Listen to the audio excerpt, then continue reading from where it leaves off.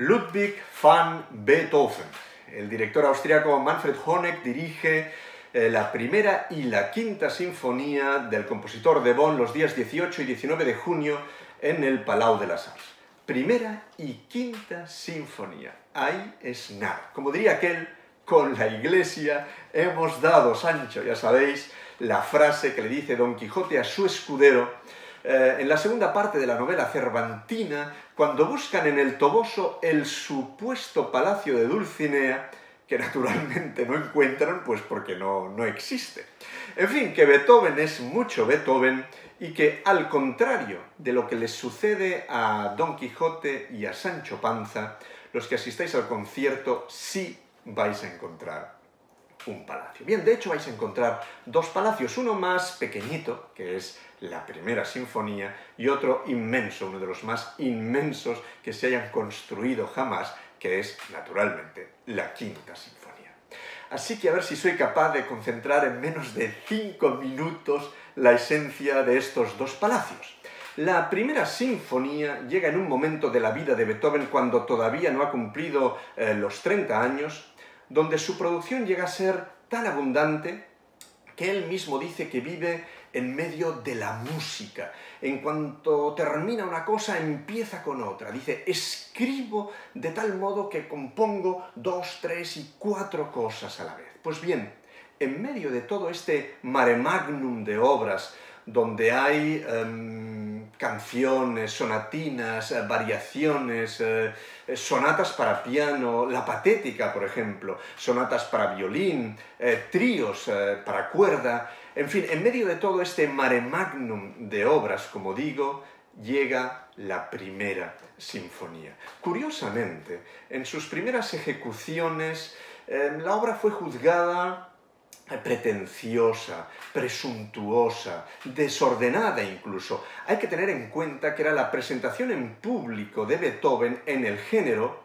o en uno de los géneros, que más lo habría de identificar. Ya los críticos no les acabó de gustar. Pero buscando he encontrado un comentario que hizo un crítico para una ejecución de esta primera sinfonía en Leipzig, que creo que define bastante bien lo que significa o lo que es esta obra. El crítico dice así, mirad, si bien es cierto que en esta primera sinfonía ya podemos apreciar la garra que denuncia al león, este no ha juzgado aún oportuno el momento de dar el gran salto. Estoy bastante de acuerdo con este comentario. Se trata, es cierto, de una sinfonía heredera de Haydn y Mozart. Em, por ejemplo, Beethoven introdujo dos timbales que acompañan en uno redoble en pianissimi el andante, y eso es algo que ya había hecho Haydn, y había hecho Mozart también, por ejemplo, en la obertura de Don Giovanni, pero también es cierto que la obra está llena de momentos que anuncian el genio, anuncian el león, como dice el crítico que vendrá. Un león que se anuncia en esta primera sinfonía, que se reveló en la tercera sinfonía y que nos muerde y nos da un zarpazo de esos que no podremos olvidar nunca más con la quinta sinfonía en do menor. Y ya sabéis, las cuatro notas más famosas de la historia de la música. Tan, tan, tan, tan.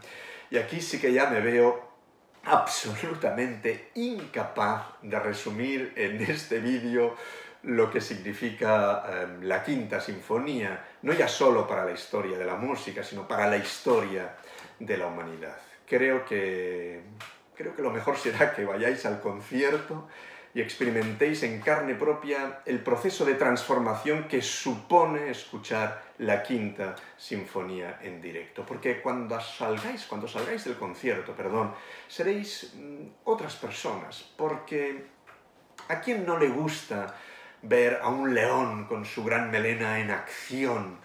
¿O a quién no le gustaría encontrar el palacio de Dulcinea?